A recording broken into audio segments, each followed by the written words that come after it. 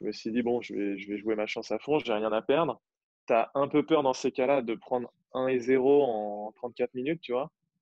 Euh, et puis, euh, mon pote, il m'avait dit, voilà, fais gaffe, parce qu'en plus, il y a des ramasseurs de balles, euh, ça va aller à 10 000 entre les points, tu vas être asphyxié, pour vraiment Vous écoutez The Court, s'entraîner au tennis avec des pros, la chaîne de ceux qui veulent prendre le contrôle de leur jeu et de leur match pour pouvoir gagner et se surpasser sur le terrain.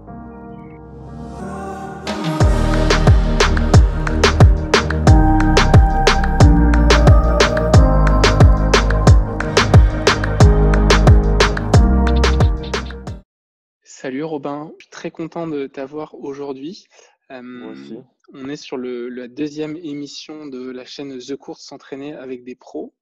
on a eu la semaine dernière Pauline Payette, ancienne 570 mondiale, qui, a, qui nous a donné de, précieux conseils pour passer les classements, notamment de la quatrième série, de la troisième série, de se rapprocher des classements de 15. Et j'ai cru comprendre que ça avait plu à nos auditeurs, donc aux joueurs de tennis de, ces classements-là, pour avoir des conseils d'experts. et, puis bah, du coup, j'ai pensé à toi, puisqu'on se connaît depuis très longtemps, pour avoir tes conseils de, bah, de, de, joueur, de toi en tant que joueur qui a passé ces classements-là, et aussi toi en tant que maintenant coach qui, qui a entraîné un certain nombre de joueurs. Est-ce que tu pourrais commencer par te présenter, s'il te plaît? Oui, alors moi je m'appelle Robin Bailly. En fait, je suis originaire euh, donc de Normandie. J'y habite toujours. J'ai grandi du côté de Cherbourg dans la Manche. Euh, et puis là, je vis depuis 2015. Euh, je suis, je suis basé sur Rouen. je suis toujours un compétiteur, encore classé à moins de 6. Et je travaille là actuellement. Là, je suis, je travaille pour la Ligue de Normandie. Je suis entraîneur régional. Voilà. Donc j'essaye toujours de, de, faire les deux, même si c'est de plus en plus difficile, entre concilier la vie de, de coach avec du suivi en compétition et puis, et puis moi continuer, ben, on va dire, ma petite carrière de joueur. voilà, et puis je suis aussi depuis septembre dernier en formation DES. C'est le, le deuxième degré du BE, quoi, en fait. Voilà. Ok. Donc ça fait un, planning bien chargé là. Ouais, ça fait beaucoup de tennis, ouais. Si tu devais, euh, en une phrase ou en quelques, mots, résumer un peu aujourd'hui euh, ta mission tennistique, genre c'est quoi ton objectif numéro un quand tu, je sais pas, tu commences une semaine ou là peut-être euh, l'année 2020, ton objectif tennistique pour aider, pour aider la communauté des joueurs de tennis? Alors en fait, moi, Là, j'entraîne donc les meilleurs moins de 12 ans de Normandie. Évidemment, je suis pas tout seul comme coach. et donc là, si tu veux, j'ai un petit qui est en classe de sixième, qui est, qui est né en 2008, qui est classé à 15 ans. Qui est classé à 15 ans. Donc, donc je l'entraîne je l'entraîne quasiment tous les jours. Je le suis en compétition. Et, voilà, donc je, l'accompagne principalement lui. Et puis j'ai aussi d'autres plus petits, mais là c'est un peu plus épisodique. Je les ai deux fois la semaine. Mmh voilà comment est réparti mon, mon, emploi du temps. Et en fait, là, je sors de, de trois ans de collaboration avec, avec deux jeunes là, qui étaient eux nés en 2001. Et, et donc, on a fini la collaboration l'année dernière quand ils ont eu quand ils ont eu 18 ans en fait. Euh, Ils étaient classés combien, euh, combien eux? Alors, eux, quand euh, j'ai fini la collaboration, il y en avait un à moins 4 et un à moins 2. Voilà. Ok, donc ça commence à taper. Ouais, ouais, ouais.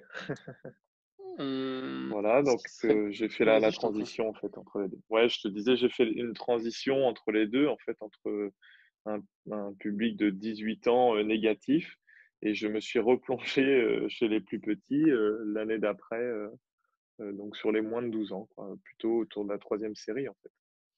Voilà. Bah, intéressant. Du coup, qu'est-ce que hum, première question qui vient comme ça, qu'est-ce que tu vois tout de suite Qu'est-ce qui te frappe dans la différence entre un joueur qui va être bah, justement proche négatif, moins 2, moins 4, et des, plus jeunes joueurs qui sont aux alentours de 15 ans? Qu'est-ce que tu vois comme différence première en, termes de jeu?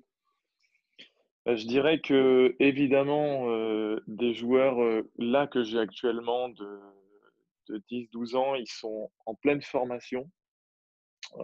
donc je dirais que en fait les, résultats de leur saison sont un peu au, deuxième plan euh, alors que les joueurs que j'avais là, entre là, qui avaient 17, 18 ans, euh, là maintenant, ils étaient euh, quasiment formés, même si on a mmh toujours des, des, réglages à faire. Si tu veux, il n'y a plus de gros, gros chantiers euh, techniques, physiques, etc. même si évidemment, hein, on doit toujours travailler ça c'est indéniable. Mais, mais, je dirais que là, le, résultat, il, on arrivait dans les années, voilà, à partir de 16 ans, c'est là où il faut commencer à avoir des résultats sur les tournois.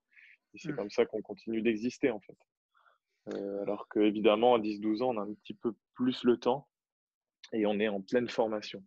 Voilà. Quand tu parles de formation comme ça, parce que du coup, ça me fait tout de suite penser à, aux joueurs qui nous écoutent, qui je vois aussi la notion de formation, pas forcément que avec cette notion d'âge. Pour sûr, effectivement, on est en formation euh, quand on est jeune, mais pour des mmh joueurs qui débuteraient le tennis un peu plus tard, par exemple, je sais pas, 20 ans, 25 ans, 30 ans, sur leurs mmh premières années, ils vont être dans cette notion de formation pour savoir bah, quel type de jeu ils ont, quel type de joueurs ils sont sur le terrain? Donc, tu as vraiment cette notion de, de se connaître.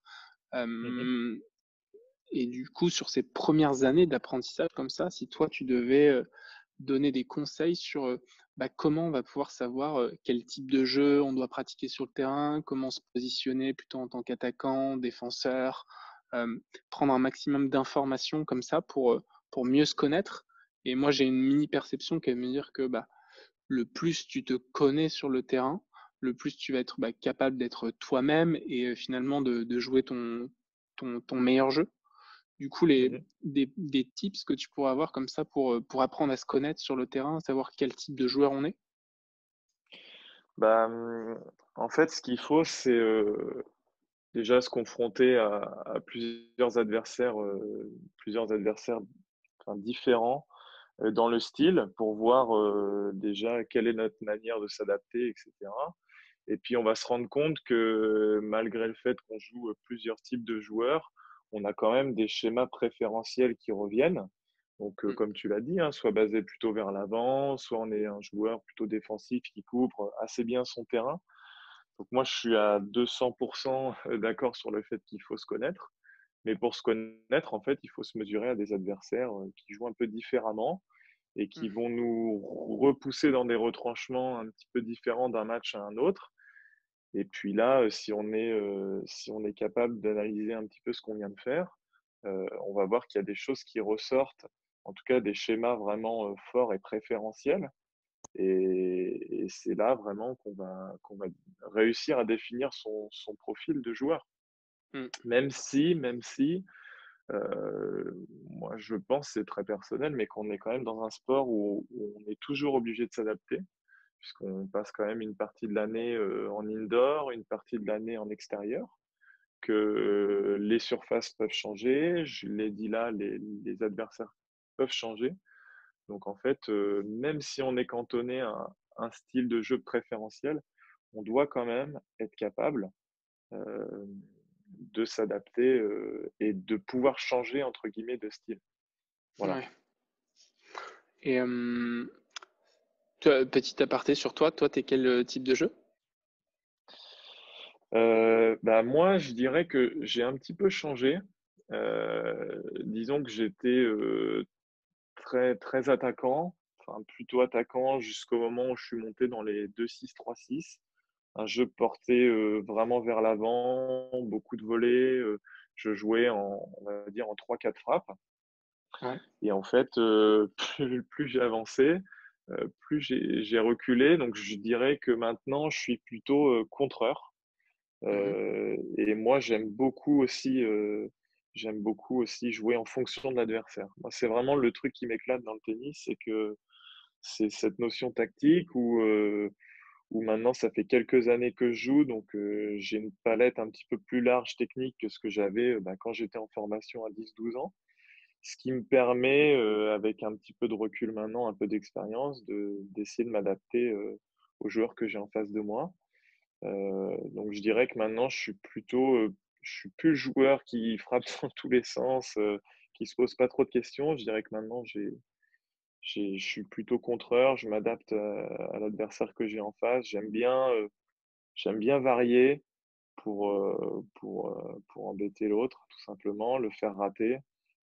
Et je prends du plaisir maintenant à faire des, des grosses séquences de défense. et c'est des choses qui, quand j'avais 17-18 ans, c'était pas le truc qui m'éclatait le mmh, plus. Je comprends. Mais comme quoi, je pense qu'on peut évoluer, on peut changer. Moi, c'est c'est comme ça que je le vois. Mais, mais voilà. Tu parlais juste avant du, du, fait de se, pour se connaître, pour, pour savoir quel type de jeu. Tu as parlé, je ne sais plus quel mot tu as dit, mais tu parlais de te lancer, d'avoir de, l'expérience de jouer contre des jeux différents, peut-être des jeux plus forts, moins forts. Euh, j'ai tourné euh, euh, deux jours de, de vidéos de formation avec quelqu'un que tu connais bien, parce que c'est Jules Marie. Et pour info à ceux qui nous écoutent, il fut une année en, en, en 2003 non, 2005, où Jules, Marie, Robin Bailly et moi, on a dormi dans la même chambre pendant un an. Certainement une des plus belles années. Ah oui, pour moi aussi, ouais. Et donc j'ai tourné avec Jules et on a beaucoup insisté des, vidéos pour, pour permettre aux joueurs justement classés entre non classés et 15 d'avoir un meilleur revers. Donc ça, on a tourné pas mal de vidéos sur la notion tactique, quoi faire avec son revers, sur la notion technique de quel, quel, euh, euh, quel, type de jeu adopter, etc. Et toi, tu parlais de, se lancer. Il y a un truc qui m'intéresse beaucoup, c'est je vois trop souvent de, de joueurs en fait qui se posent la question de me disent tout le temps tu penses que je joue combien? Tu penses que j'ai quel classement et tout?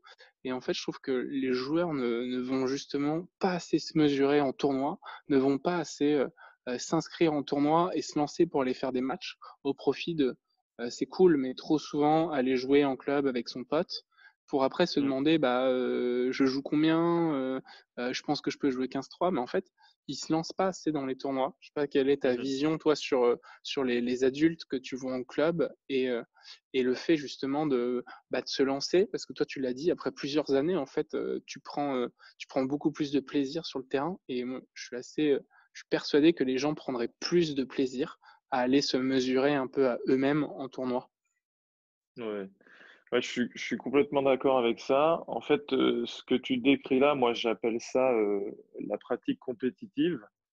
En fait, qui dit pratique compétitive, pour moi, ne veut pas dire, euh, veut pas dire aller chercher à être à haut niveau, mais tout simplement, même si avant tout, on a été amené à jouer au tennis pour se faire plaisir, jouer en loisir, partager le terrain avec un copain, etc je pense que ce que tu as dit, partir en compétition, euh, permet, euh, permet de découvrir le, ce sport-là sous un autre aspect euh, mmh. qui est très très riche. En plus, je trouve qu'il est très très riche parce que en fait, sur la dimension physique, sur la dimension mentale, tactique et technique, en fait, les quatre sont très très importants.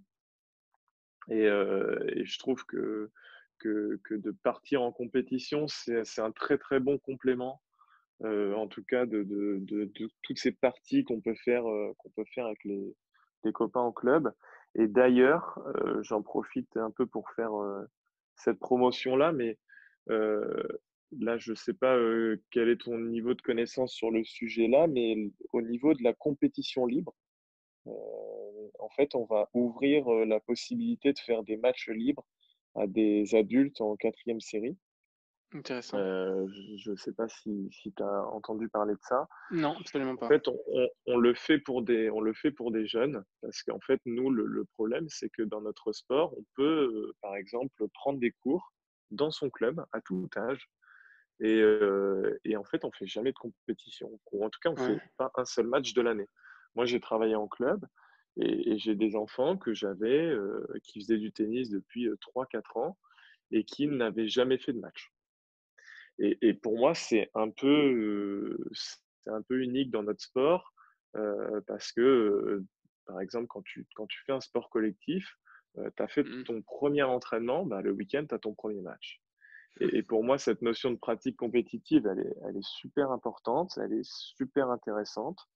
Je pense que euh, nous, dans notre sport, ce qui est, ce qui est un petit peu difficile, c'est que bah, techniquement, la prise en main, elle est moins facile, par exemple, que dans d'autres sports de raquettes, que sont le badminton ou, je dirais, le squash ou, ou le tennis de table. Donc forcément, euh, on ne peut pas aller faire un match euh, tout de suite dès les premières semaines de pratique. Mmh. Mais là, la, la, fédération, elle va lancer ce, ce, système de match libre. Donc ça va être ouvert entre les, les, les non classés et les 31. Et en fait, ça va permettre à, deux joueurs de s'affronter, euh, par exemple deux joueurs d'un même club, mais, mais, d'officialiser un match qui peut se dérouler dans leur club. C'est énorme, je n'étais pas du tout au courant. Et, ouais, et en fait, ils le font pour les moins de, les moins de 12 ans. C'est pour justement euh, encourager à la pratique compétitive et, et puis euh, bah, enrayer ce phénomène de dire bah voilà, nous on a des enfants, ça fait 5-6 ans qu'ils sont au club, ils ne savent pas compter des points, ils, ont peur d'aller en compétition parce que souvent, euh, les premières compétitions, ils reviennent, euh, ils ont joué contre beaucoup plus fort, ils reviennent en pleurant, ils n'ont rien compris parce que le système de points, il est quand même euh, assez compliqué à comprendre. donc de pouvoir démarrer, ou en tout cas faire son premier match officiel au sein de son club dans un environnement connu, et puis guidé par, par je sais pas, l'entraîneur de son club ou un bénévole, je trouve ça vachement rassurant. Et pour moi, c'est quelque chose qui peut vraiment apporter à nos, en tout cas à nos, à nos licenciés qui voudraient se lancer dans leur, dans leur premier match. Mmh. complètement dans la ben, tranche quatrième série. Absolument. Bah, plus d'excuses à personne pour se lancer. Et moi, je suis du côté de Paris et je trouve ça fou que il y a tellement de gens qui jouent à Paris, mais qui ne font 0, 0, 0 tournoi. Je sais que c'est compliqué parce que c'est une ville où il y a beaucoup de, dans les périphéries, il y a beaucoup de, de bouchons.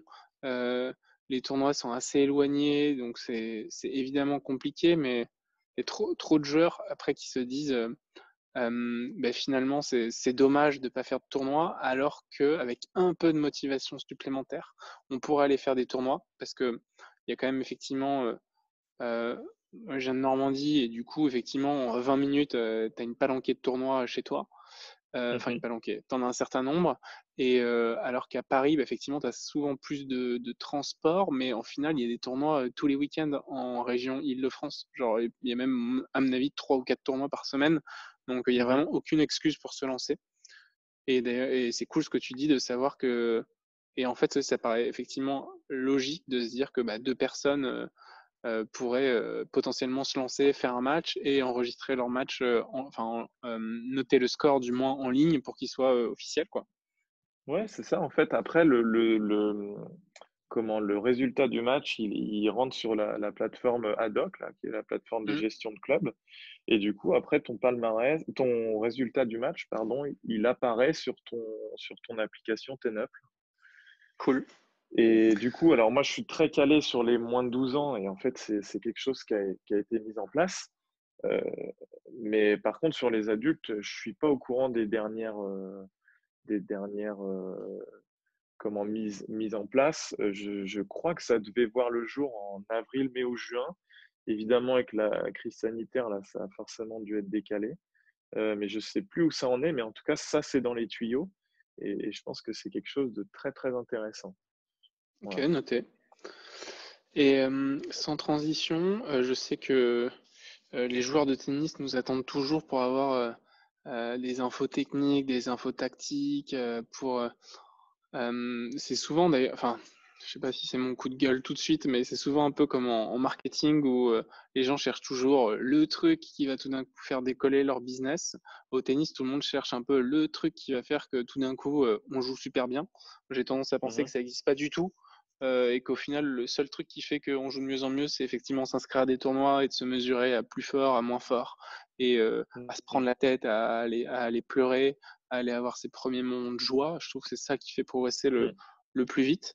Mais euh, si tu devais donner des aspects un peu plus, commençons peut-être par la tactique, qu'est-ce qui fait que quelqu'un qui est non classé, 35 et qui veut, bah, qui aimerait bien aller 30, pourquoi pas un jour 15-5, quelles, sont les premières bases tactiques qu'il va pouvoir employer sur un match? Genre, j'arrive sur un match, je suis 35, je je sais pas quoi faire. Donc, euh, mmh. j'ai envie de gagner le match. Genre, est-ce que euh, il y a une tactique à mettre en place facile que je peux utiliser?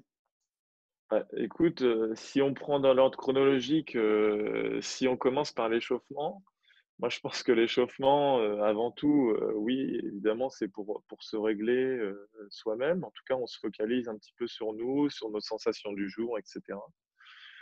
Euh, moi, ce que je conseillerais, c'est de faire un bon échauffement physique avant, déjà de faire tomber un peu l'appréhension du match, certainement. Et puis, euh, utiliser l'échauffement, les, tu vois de quoi je parle, les cinq minutes d'échauffement avant de commencer le match, tout simplement, on tape la balle avec l'adversaire. En fait, pour moi, euh, ce moment-là, il est très, très riche pour récolter des indices sur, sur son adversaire.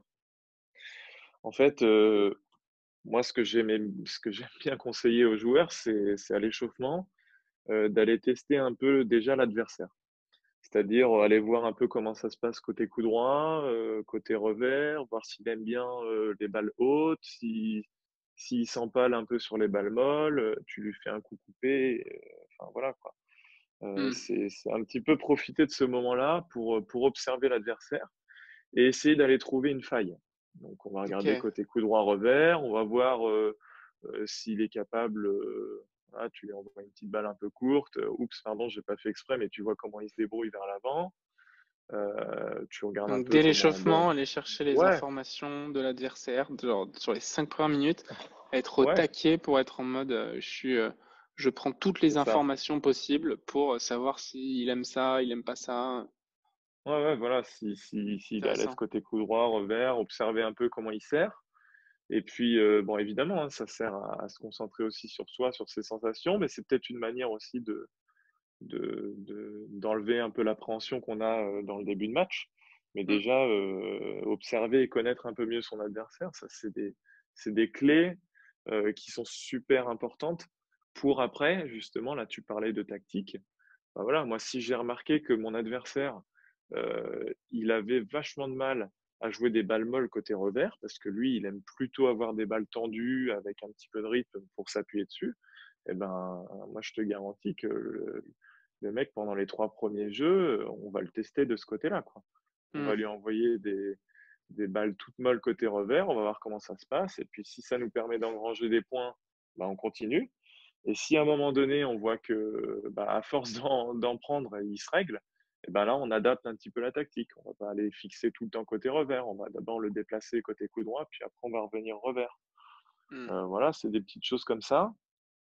Euh, évidemment, je pense que sur le plan tactique, il faut jouer en fonction de ses forces, en fonction de, ce qu'on sait faire, parce qu'on sait bien qu'en quatrième série, euh, techniquement, on n'a pas un bagage technique qui nous permet de jouer tous les coups proprement. Donc je dirais que c'est exploiter déjà euh, les séquences qu'on arrive bien à faire, s'appuyer sur ses points forts, et puis essayer de masquer un maximum ses, points faibles. Voilà, mmh. voilà on l'a tous connu, hein, le, mec euh, qui vient, se, qui vient euh, te, te, faire jouer tout le temps côté revers, alors que tu es plus à l'aise côté coup droit. voilà, c'est toujours difficile. Donc c'est essayer de le masquer pour pas que ce soit trop flagrant. Voilà. Ouais, Pratiquement intéressant. Euh, j'en parlais d'ailleurs dans, des récentes vidéos sur le fait de cette notion, je trouve, de quand on ne sait pas trop quoi faire, vraiment se mmh. prendre la tactique de se dire, eh ben, un, truc qu'on peut très bien faire, c'est ne pas faire de faute, mettre la balle dans le terrain, jouer croisé 60-80% du temps, pas faire de faute dans la diagonale et essayer petit à petit d'aller faire reculer l'adversaire en allant chercher de la longueur de balle, de la hauteur, de la profondeur, essayer de gratter un petit peu la balle, peut-être là mmh. pour parler un peu technique, justement commencer à gratter un petit peu la balle pour, pour faire reculer l'adversaire et pour petit à petit grappiller du terrain. Et je trouve que ça mmh. fait des parallèles aussi avec cette dimension mental parce que c'est un, un, sport qui est tellement mental, beaucoup plus que, que, que certainement euh, technique. Un mec qui a un mmh énorme mental, un bon physique, il peut être largement capable de battre un gars qui a juste une bonne technique.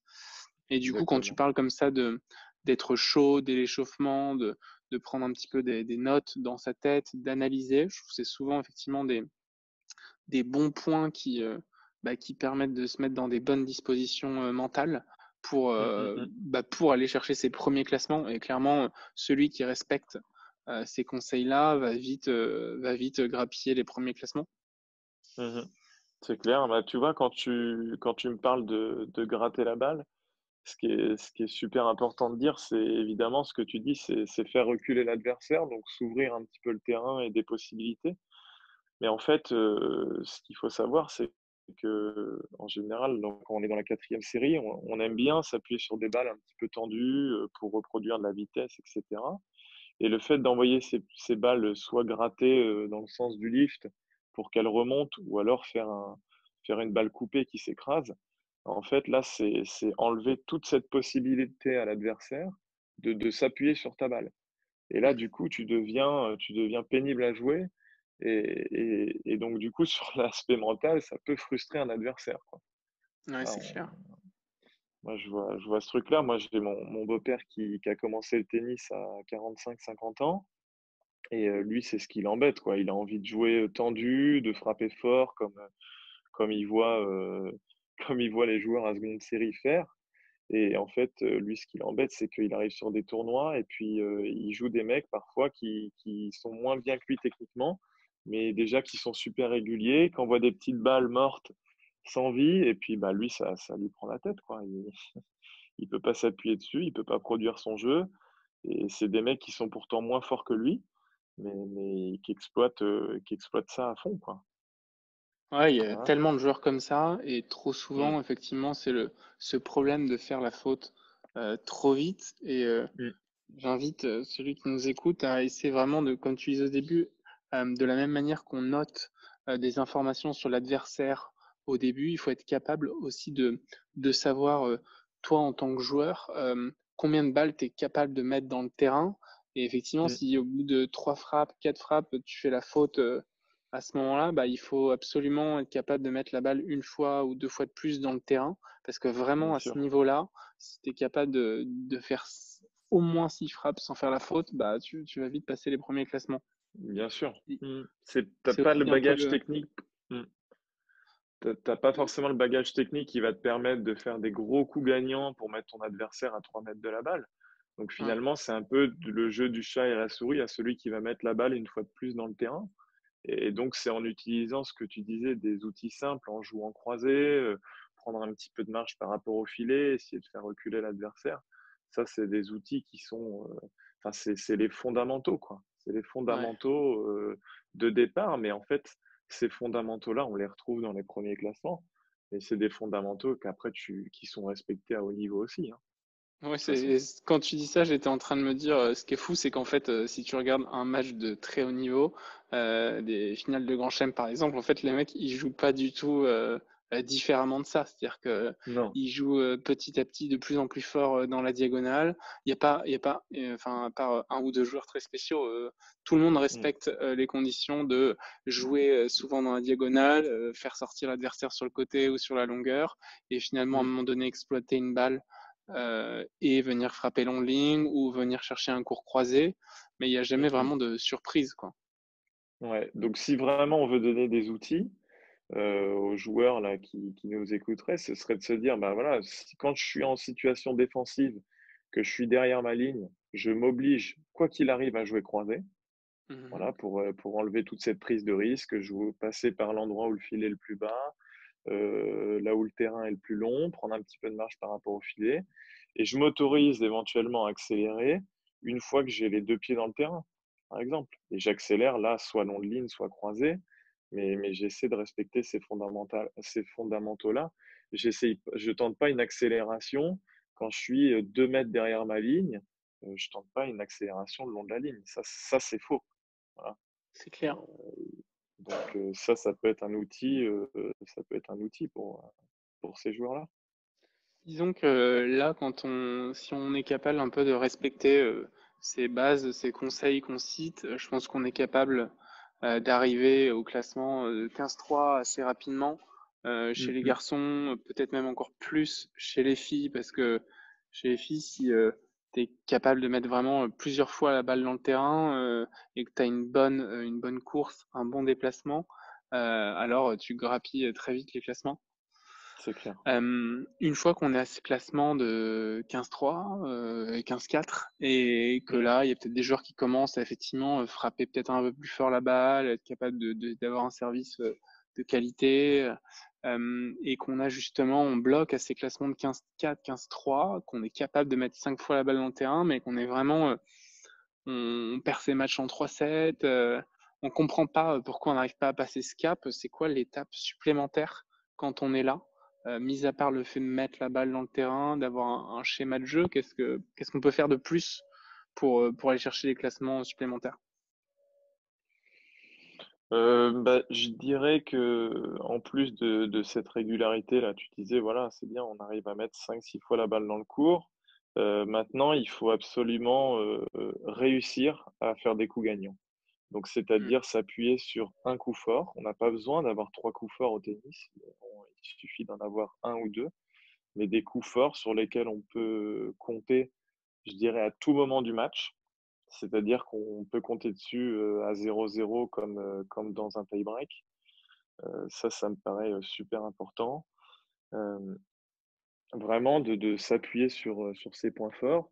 Et puis, ben, moi, je pense que tout simplement, je ne sais pas, les, joueurs avec qui tu discutes qui sont dans cette situation, combien de matchs ils font par an.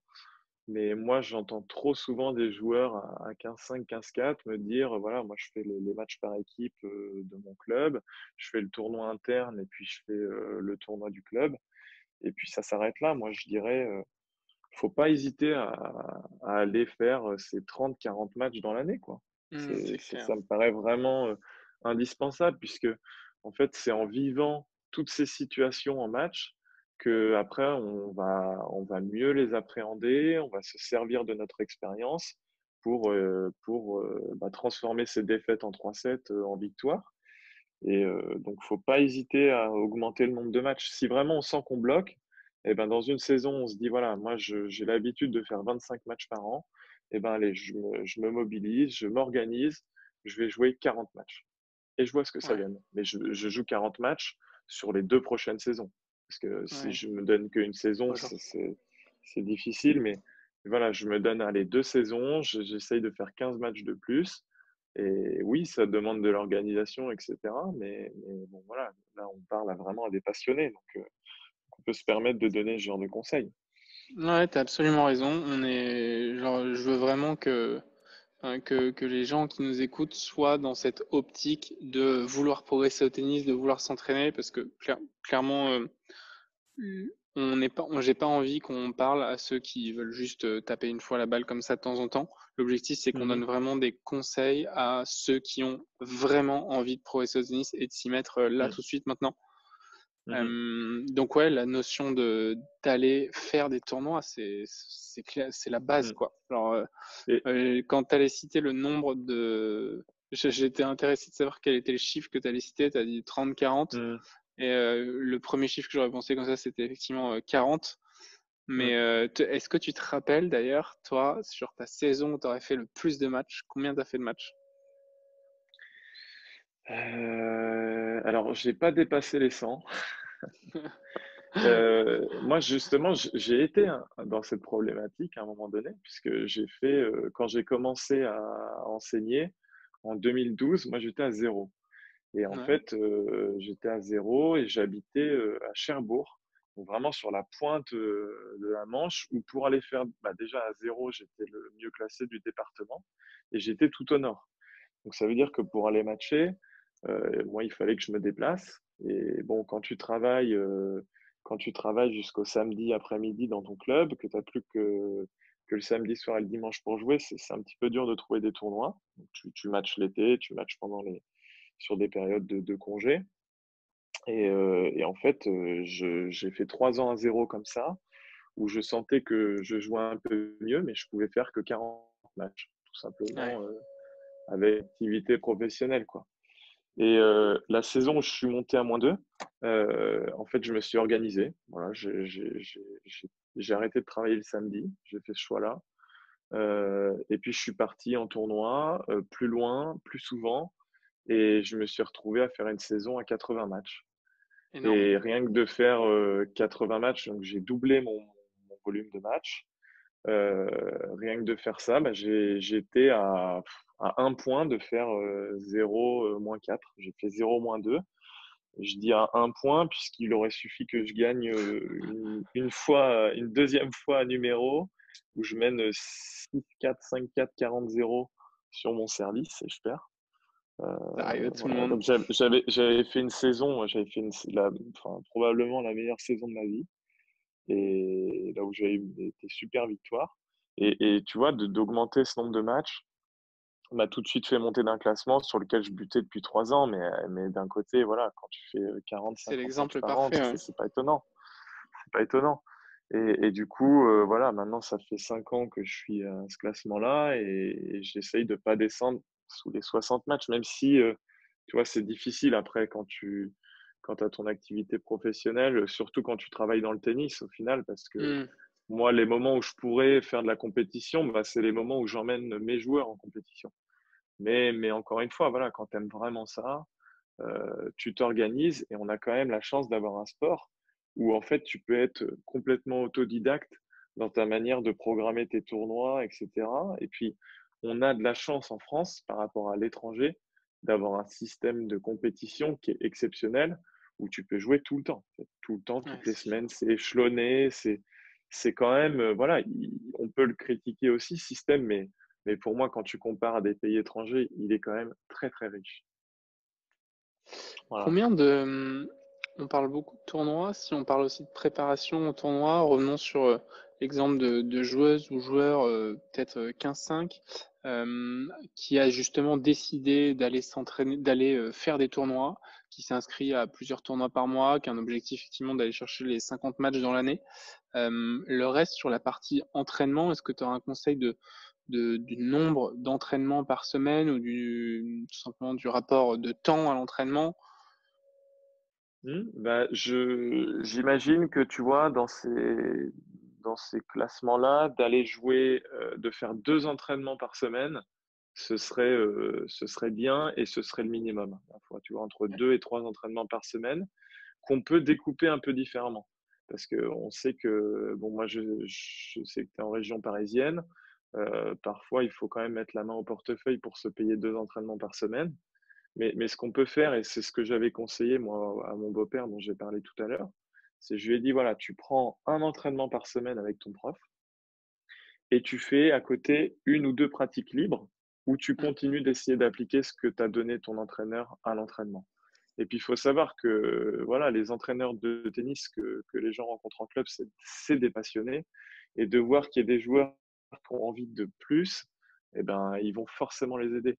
C'est pas des pas des joueurs à qui on ferme la porte, bien au contraire.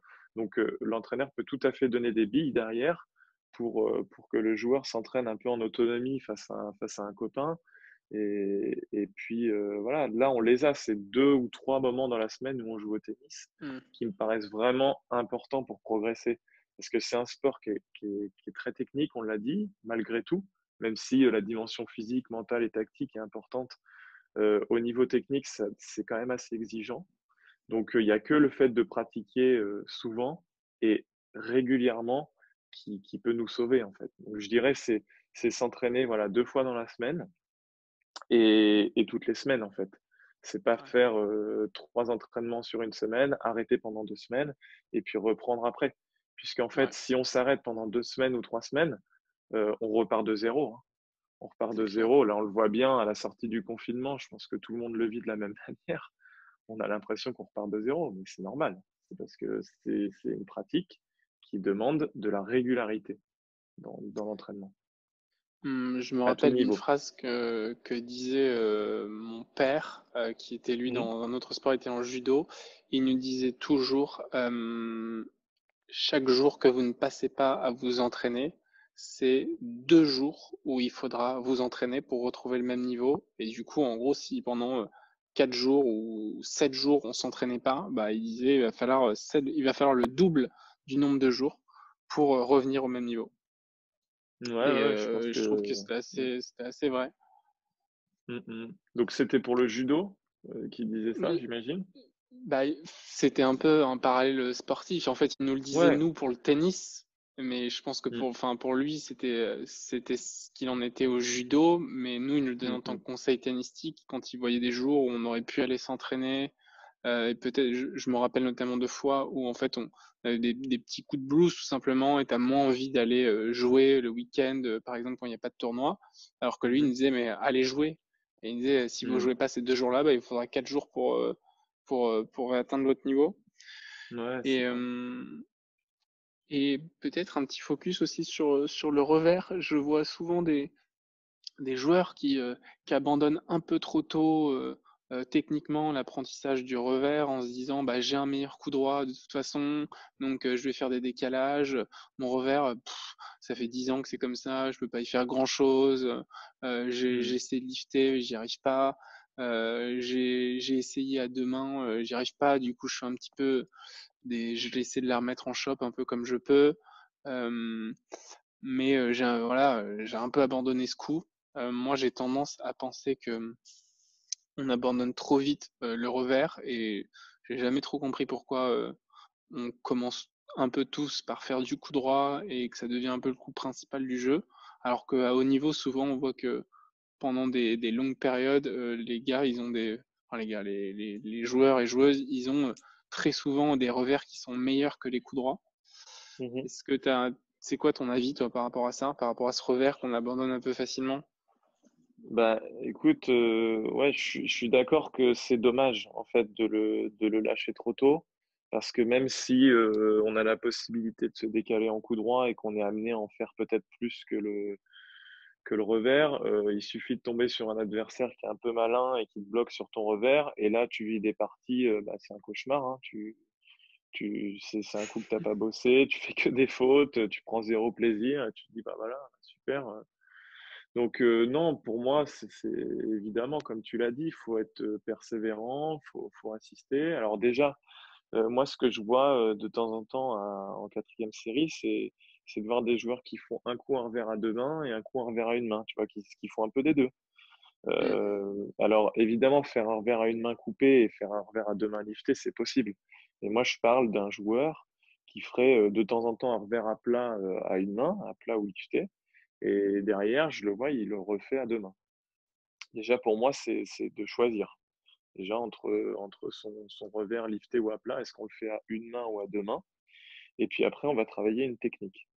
Donc déjà, c'est c'est la première chose, faire ce choix-là.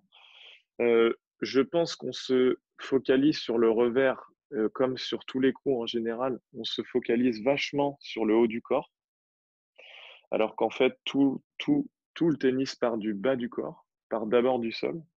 Donc, euh, avant de se prendre la tête sur des, euh, je dirais, sur des formes gestuelles, etc., il- pour moi, il faudrait déjà euh, faire tout le travail qu'il y a à faire au niveau coordination et au niveau du, du travail du jeu de jambes. Ouais.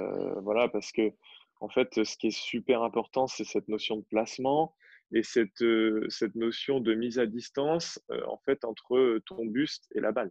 Voilà, pour pas te retrouver complètement collé à la balle, ce qui t'empêcherait de, de, de ton bras de circuler. Donc en fait, ça veut dire que tu pourrais avoir la meilleure gestuelle possible sur le haut du corps. Si euh, tu es toujours mal placé, bah, ça va te servir à rien. Donc déjà, la, la base, c'est c'est déjà de, de penser que son revers, on va d'abord le faire avec ses jambes et, et on va d'abord frapper un bon revers parce qu'on est bien placé. Voilà, Mm. ça déjà pour moi, c'est la base.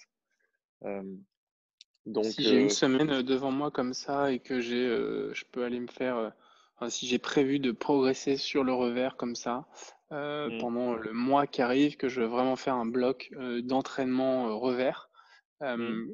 quel conseil, quel conseil tu peux me donner, des exercices que je peux faire pour progresser avec ce revers? Alors, m- moi, je suis, c'est ma sensibilité d'entraîneur. Moi, je suis vachement dans la répétition. En fait, je suis vachement dans la répétition et quand je- j'entame un travail technique comme ça, euh, bah voilà, moi quand je donne des, cours particuliers, etc. Enfin, quand j'en donnais en tout cas, euh, quand j'étais en club, tu vois, des adhérents quatrième série qui voulaient progresser sur un coup, et ben j'y allais quoi. Je, je lançais la balle à la main et puis euh, on faisait beaucoup de répétitions. Donc, je pense que voilà, si on a une semaine devant nous et qu'on veut travailler le revers, eh ben, soit on est en face d'un copain et là, on va lui dire, bah, écoute, aujourd'hui, tu vas jouer un peu le rôle de mon entraîneur et je vais le faire aussi pour toi, plutôt que, tu vois, faire le classique où on se met dans la diagonale revers et on en frappe un maximum. Bah, déjà, demander à son copain qui est en face d'envoyer les balles et nous répéter toujours le même geste jusqu'à le perfectionner. Déjà, c'est de laisser des traces en fait sur le, plan moteur. C'est à force de répéter, bah, ça va devenir de plus en plus naturel. C'est ça qui est important.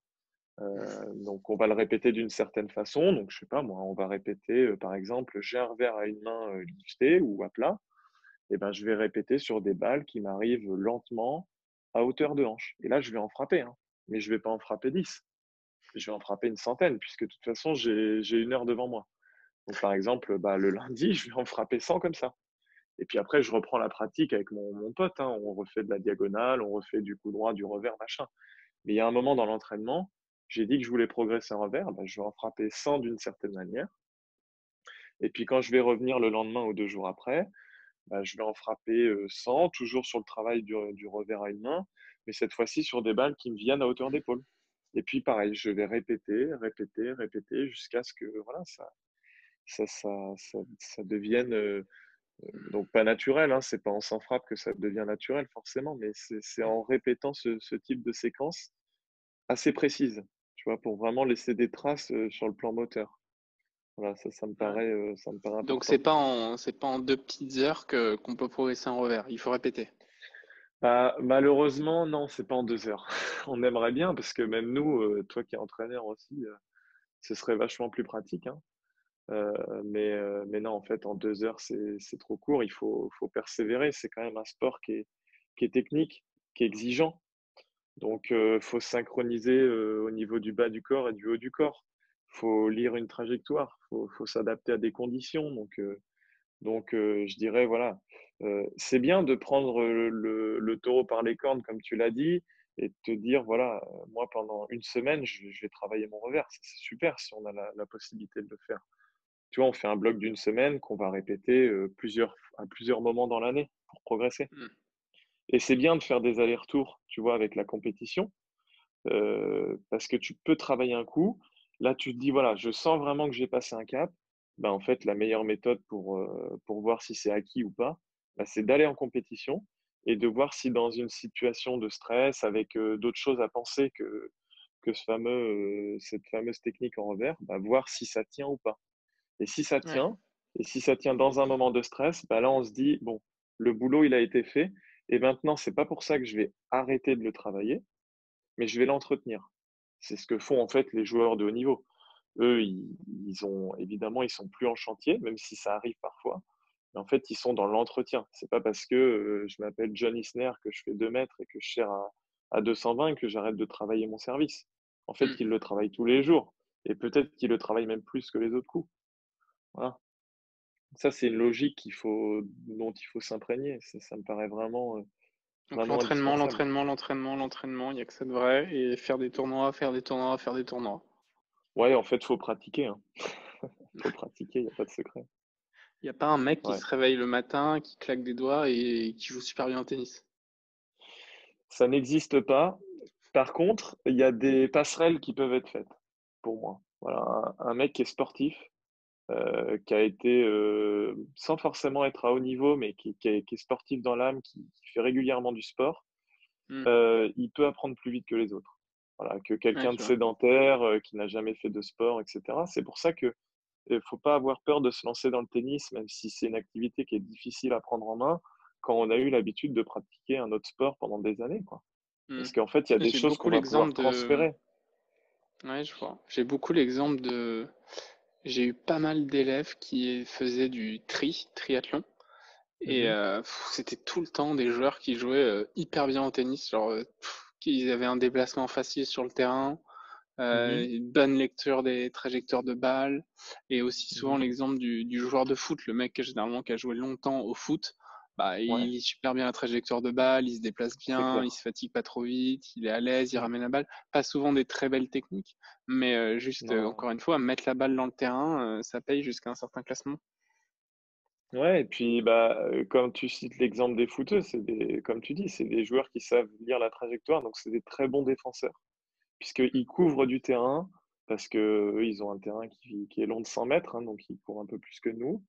Et, et, donc du coup, physiquement, ils sont au point, et, comme tu dis, souvent pas une très belle technique, mais, mais, mais voilà, ils prennent du plaisir à défendre, à courir, parce qu'ils adorent ça, et, et remettre la balle une fois de plus euh, dans le terrain. Euh, donc, ouais, euh, ouais, ça c'est clair. Pour, pour enchaîner un peu plus sur toi, Robin, si tu devais nous citer un moment particulier que tu as vécu sur le terrain, soit une anecdote, soit un moment chargé en émotions, est-ce qu'il y en a un qui vient? J'ai un, ouais, j'ai plusieurs moments, mais il y en a un en particulier qui m'a qui m'a vachement retourné. Euh, en fait, je t'ai dit tout à l'heure, j'ai eu trois saisons où je faisais, je pouvais faire que 40 matchs dans l'année, etc. Donc, je n'arrivais pas à monter négatif, ce que j'ai, ce que j'ai toujours eu comme objectif. Et l'année où je me décide de faire 80 matchs, je me retrouve à jouer des qualifications de, du, Challenger de Cherbourg. Donc, c'est le début des, c'est les premiers tournois professionnels, en fait. Et, j'y avais participé l'année d'avant pour la première fois. Donc voilà, je passais mon diplôme d'État pour être prof de tennis. J'avais, je tapais une fois ou deux dans la semaine, tu vois. J'étais vraiment dans mon diplôme et sur mes heures de terrain. Donc voilà, et j'ai eu la chance parce que je connais, je, suis ami avec le directeur du tournoi et, j'étais numéro un de la manche. Il m'avait invité à participer aux qualifications. Euh, c'est un tournoi euh, qu'a fait ton frère d'ailleurs euh, régulièrement. Et, du coup, je me suis retrouvé à jouer un mec qui était top 300 mondial et qui trois semaines avant avait battu, qui avait battu Milos Raonic, qui était huitième mondial, qui avait battu Andreas Seppi, qui était 30e, et qui avait perdu en 3-7 sur Tsonga. en fait, il s'était joué en janvier à la Open Cup. Ouais, costaud. Et en fait, tirage au sort, moi, je me retrouve trois semaines après à tomber sur lui. Mais, mais c'est un Polonais, il s'appelait Grigor Panfil. Et moi, j'étais classé à zéro, tu vois. J'avais toute ma famille, mes amis qui allaient venir voir le, match. Donc, je me suis dit, ouais, ça, ça va être chaud. Je, je, me suis dit, bon, je vais, je vais jouer ma chance à fond, j'ai rien à perdre. Tu as un peu peur dans ces cas-là de prendre 1 et 0 en 34 minutes, tu vois. Euh, et puis, euh, mon pote, il m'avait dit, voilà, fais gaffe, parce qu'en plus, il y a des ramasseurs de balles, euh, ça va aller à 10 000 entre les points, tu vas être asphyxié, il faut vraiment prendre ton temps, etc. Et donc, je joue ce Polonais. Et en fait, le mec, je pense qu'il a vu que j'avais pas de classement, il me connaissait pas, donc en fait, il, il m'a pris un peu de haut. Et on a commencé le match, je break dans le premier, je me retrouve devant. Et là, je ne sais pas pourquoi, une adrénaline, mais comme jamais, rarement j'avais senti, tu vois, sur le terrain. Et je me suis mis à, tu vois, je me suis, mis à y croire, tu vois. Puis j'arrive à gagner le premier set. Je prends le premier set 6-4, donc je me dis, putain, c'est énorme. Tout le monde commence à y croire un peu autour du terrain, etc. C'était marrant. Et mmh. euh, au final, je, me retrouve avec, avec euh, je sais pas moi, 5-6 balles de break dans le deuxième que je fais pas. Lui, il se met quand même à jouer. Il prend le deuxième 6-3 et, je perds que 6-4 au troisième, tu vois. Oh, Donc ça, c'est le match où j'avais eu, je m'étais dit, euh, en termes de niveau de jeu, tu vois, c'est là où j'ai pris conscience que ce serait con de m'arrêter à zéro, même si, bon, la réalité, c'est pas sur un match, hein, évidemment. Hein. Mais, mais, je me suis dit, voilà, j'aimerais bien quand même euh, réussir à monter à négatif. Donc l'année d'après, je me suis donné les moyens. Donc il n'y a pas que ce match hein, qui m'a donné envie de, de, jouer, de faire plus que 40 matchs. Mais, mais d'avoir goûté à ça, je me suis dit déjà, je vais faire plus de matchs pour l'année prochaine si je suis invité faire mieux. Hmm. Et en fait, l'année d'après, je suis réinvité. Je suis toujours à zéro, je m'entraîne une fois de plus dans la semaine. Et là, tirage au sort, je joue un mec qui est 600. Mhm. Et, là, euh, j'appelle ton frère. j'appelle ton frère ou, j'échange avec lui par texto parce que je ne sais pas si tout le monde connaît très bien ton frère, mais en fait, lui, il connaît tous les joueurs du circuit par cœur de, du, du, on va dire, du numéro 1 au millième mondial. On ne sait pas pourquoi il les connaît tous. Euh, pour être pas mal parti sur, le, sur les tournois futurs et les challengers, etc. Et, et, par chance, il connaissait le mec que je jouais là, qui était 600. Et il me dit, voilà, il me dit oriente plutôt côté coup droit, il me donne un peu la tactique, etc. Comme quoi la tactique est importante. Et donc j'arrive sur le terrain et là, il n'y avait plus 100 personnes comme l'année d'avant parce que les gens ils se sont dit, bah, vas-y, on va voir, ça va être marrant comme l'année dernière, on va voir. Et là, je me retrouve à jouer devant 350 personnes alors que, tu vois, moi, quand je fais un tournoi, normalement, il y a, y a 20 personnes dans le club. Quoi. Et là, tu te retrouves 350. ça avait amené plein de monde, c'était chouette. Il m'avait mis sur le, le, cours central des qualifications là. Et là, une fois encore, je me retrouve à faire un super match. Et donc, ce mec-là, j'arrive à gagner 7-5, 7-5. Et, et le oh, mec, euh, il me fait une intox de dingue. Euh, je me retrouve à mener 7-5, 4-2. Enfin, non, dans le premier, d'ailleurs, je sauve 3 balles de 7. Enfin, c'est assez improbable ce qui se passe. J'arrache le premier un peu hold-up, quoi. Je me retrouve devant dans le deuxième. Il me rejoint, etc. Il appelle le superviseur. Enfin, il fait, il fait tout, quoi.